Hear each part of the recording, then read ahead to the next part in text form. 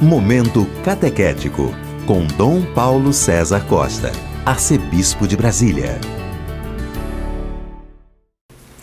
Amados e amadas de Deus, estamos celebrando este quarto domingo da quaresma, domingo letário. Domingo letário é como se fosse uma certa pausa no processo penitencial, da nossa caminhada de preparação para a Páscoa.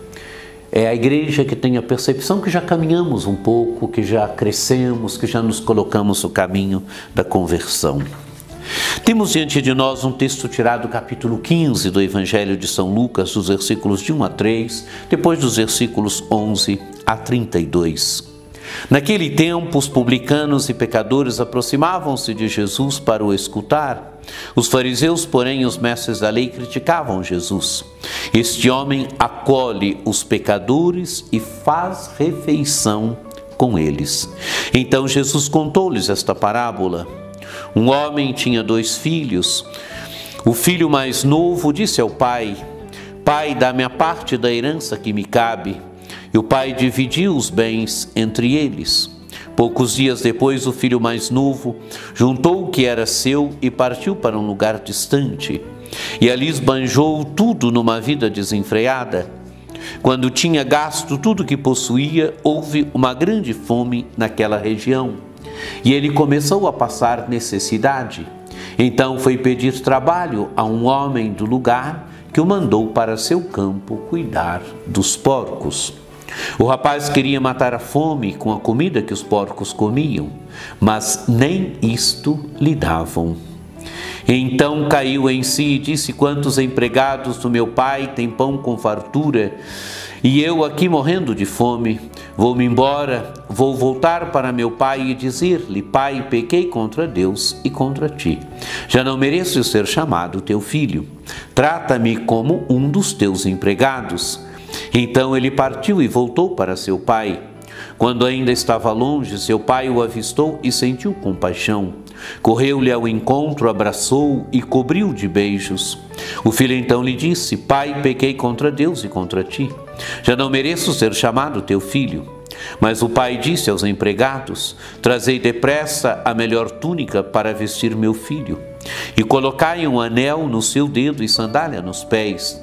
Trazei um novilho gordo e matai-o. Vamos fazer um banquete, porque este meu filho estava morto e tornou a viver, estava perdido e foi encontrado. E começaram a festa. O filho mais velho estava no campo. Ao voltar já perto de casa, ouviu músicas e barulho de dança. Então chamou um dos criados e perguntou o que estava acontecendo. O criado respondeu: É teu irmão que voltou. Teu pai matou o novilho gordo, porque o recuperou com saúde. Mas ele ficou com raiva e não queria entrar. O pai saindo insistia com ele.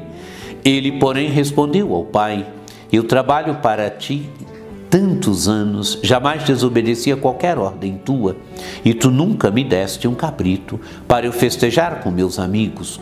Quando chegou este teu filho que esbanjou teus bens com prostitutas, matas para ele o um novilho cevado.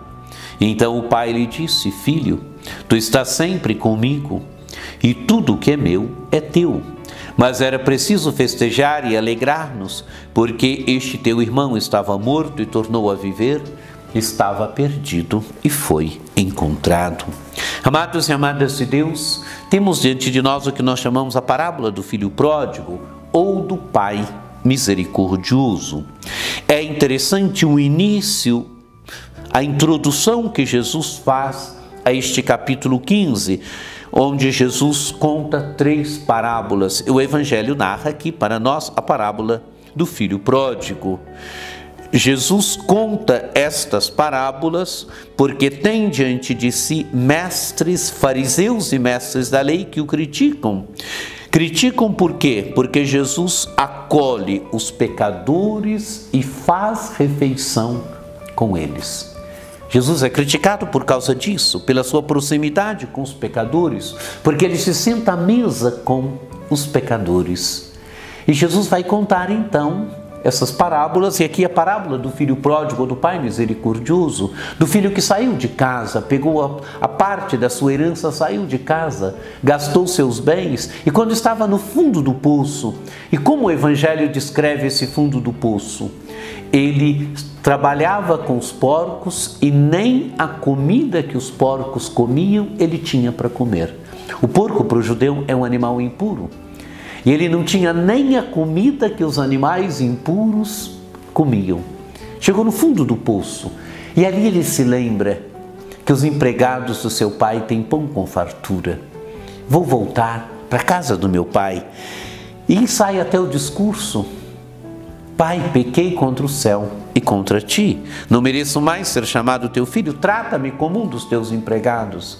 E quando ele está voltando, o pai o avista e o pai tem compaixão, porque o pai ama.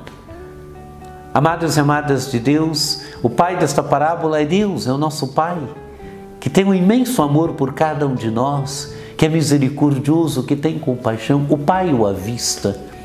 E o pai vai ao encontro do filho e o recebe como filho, recebe com beijo, lhe dá uma túnica nova, sandália, sandália nos pés, anel no dedo lhe restitui a dignidade de filho, porque ele é filho. Ele saiu de casa, ele se afastou da casa do pai, ele levou uma vida desenfreada, mas ele é filho. E o pai o recebe como filho. Não só o recebe como filho, mas o recebe com festa. Agora manda matar o novilho, novilho gordo e faz festa. Faz festa porque esse seu filho estava morto e tornou a vida, estava perdido e foi encontrado. Mas é interessante agora a atitude do irmão mais velho. O irmão mais velho está no campo cuidando das coisas do pai. E volta, volta e ouve o barulho da, da, da festa e não quer entrar. E pergunta ao empregado o que, que está acontecendo, e ele diz: É teu irmão que voltou. Ele não quer entrar. Porque, amados e amadas de Deus, ele vive na casa do pai, mas ele não conhece o pai. Ele não conhece que os bens, ele não sabe nem que os bens da casa do pai são também dele. E por isso ele vive na casa do pai, mas não é capaz de se sentir filho. Esse pode ser o grande perigo da nossa vida também. Esse pode ser o perigo de nós que participamos das nossas comunidades, que vivemos na casa do Pai, que, que temos os bens do Pai, temos a palavra, temos a Eucaristia, temos a vida comunitária, mas não sabemos que o Pai é bom, não sabemos que o Pai é misericordioso, não conhecemos o nosso Pai. Este filho mais velho estava na casa do Pai e não conhecia o Pai. Não sabia nem que o Pai era bom, não sabia nem que o Pai é misericordioso. Isso pode acontecer conosco também, amados e amadas de Deus. Esta parábola nos alerta. Esta parábola nos alerta para esta realidade esta parábola mostra para nós que o nosso Pai é misericordioso. Por isso, a necessidade de acolher o pecador, de acolher aquele e aquela que está longe, que está ferido, que está ferido pelo pecado.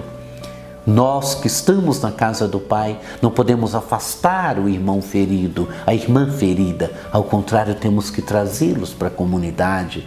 Temos que fazer que eles se sintam em casa, na casa do Pai, que é também nossa casa.